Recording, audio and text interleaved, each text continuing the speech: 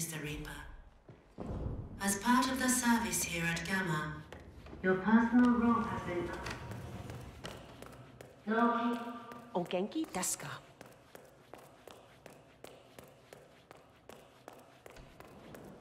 You been with the client long? Couple of months.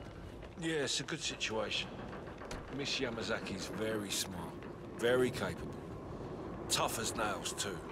You should see it. Yes!